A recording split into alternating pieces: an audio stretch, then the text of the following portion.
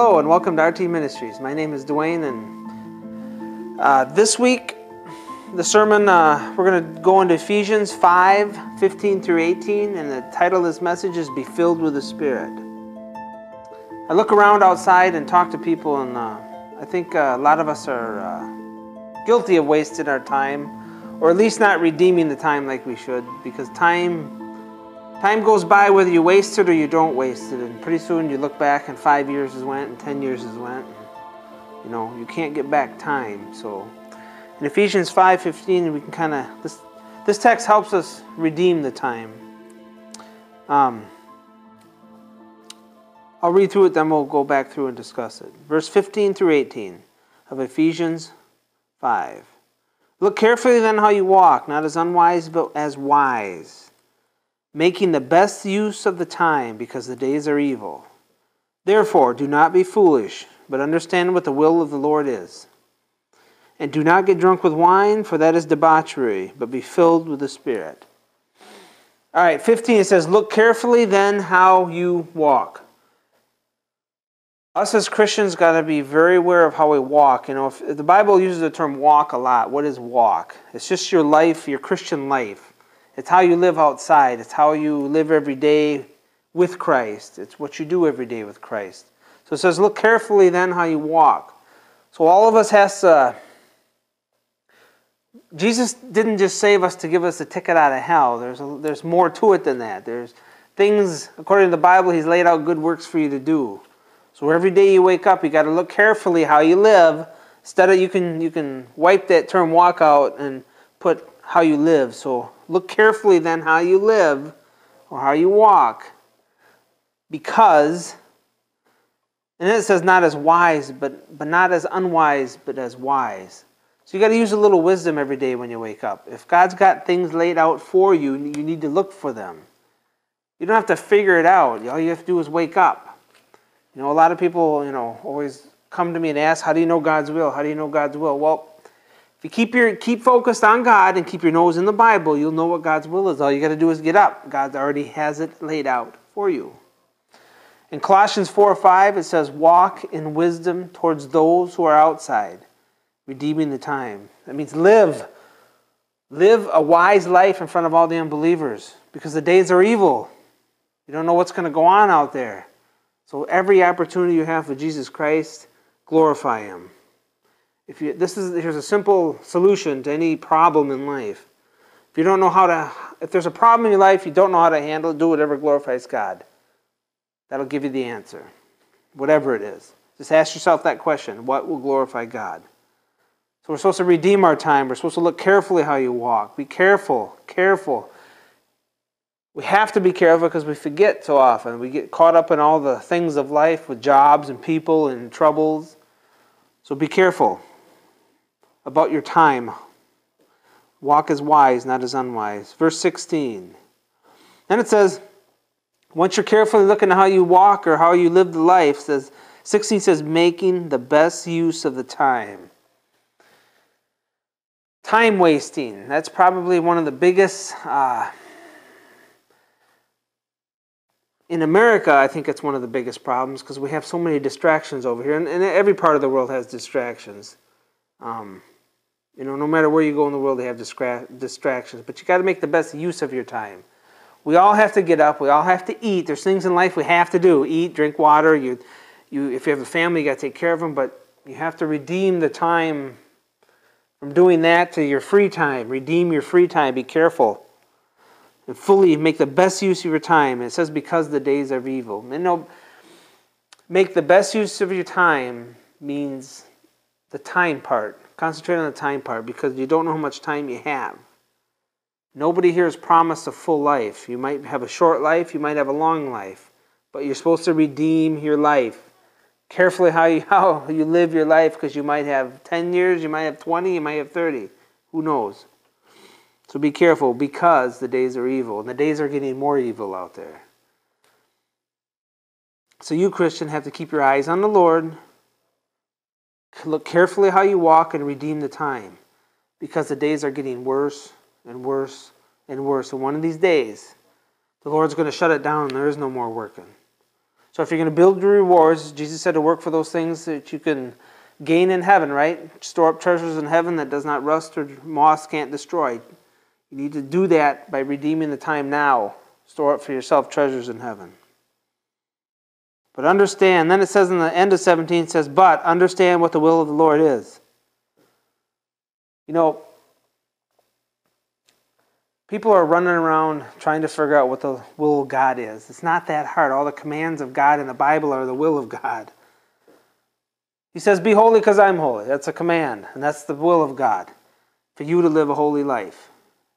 If you're not living a holy life, right? If you're not living a holy life, you will not see God. Without holiness, no one will see God. So you have to live a holy life. If you're not living a holy life, don't fool yourself. You don't know God. Another will, other to be saved. 1 Timothy 2, 3, and 4. That's another part of God's will for people to be saved. Another part of God's will for people to be spirit filled, Ephesians 5:18. Another part is to be sanctified, 1 Thessalonians 4:3. Your sanctification is God's will. You need to grow. You need to read. You need to study to show yourself approved. You need to, you know, live a holy life. You need to walk in the Spirit, keep in step with the Spirit, the Bible says. There's another part of his will. Be submissive, 1 Peter 2, 13 through 15. You know, and part of God's will, and I know people don't like to hear this, but as part of it is suffering. 1 Peter 2.20. Part of it is suffering. If you're a Christian, Jesus didn't promise you a, a beautiful life with no problems. In fact, he said in this world you have tribulation, but take heart, he's overcome the world. So he actually promises the opposite. So that's part of it. Another part of his will is to be thankful. 1 Thessalonians 5.18, be thankful. In all things give thanks whether your life is good, whether it's bad.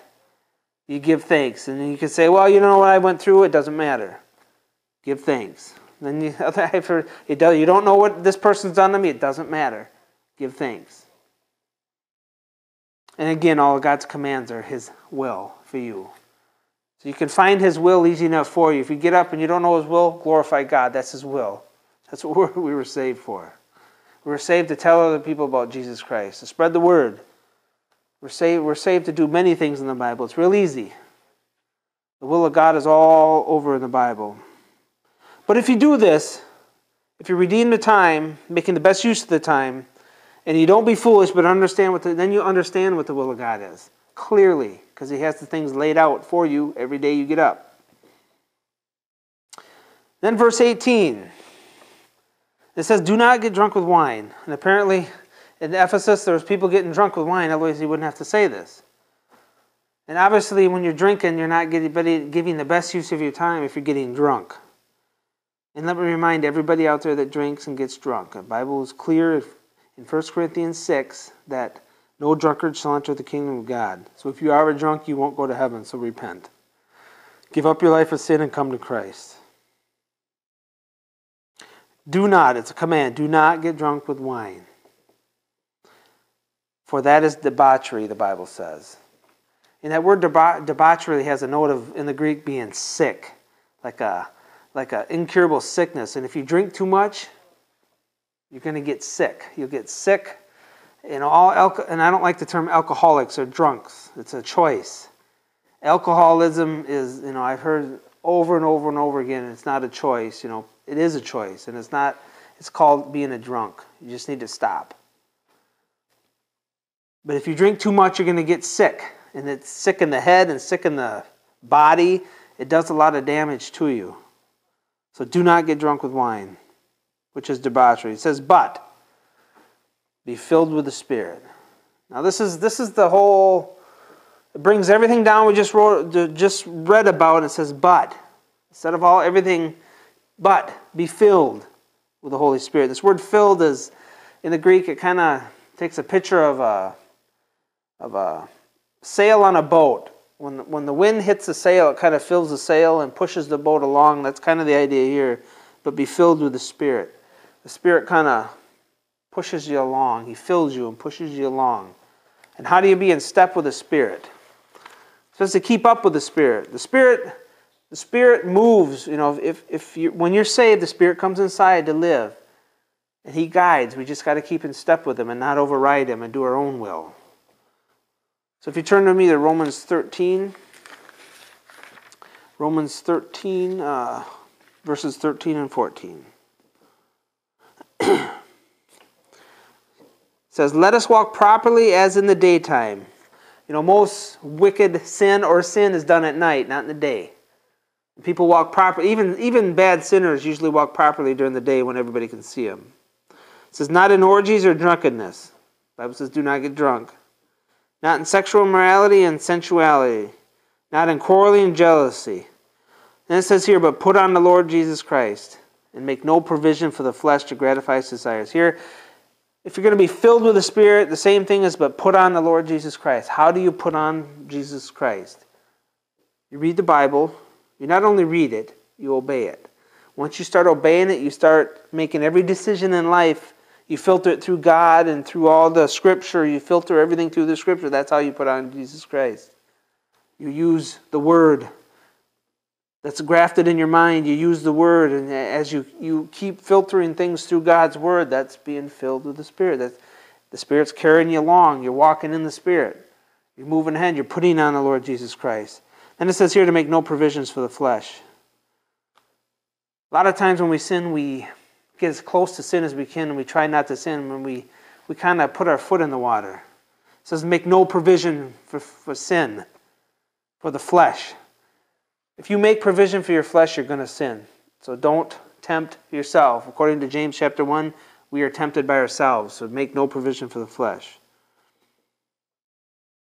You know, the title of this is to be filled with the Holy Spirit. You're supposed to walk as wise, redeeming your time because the days are evil.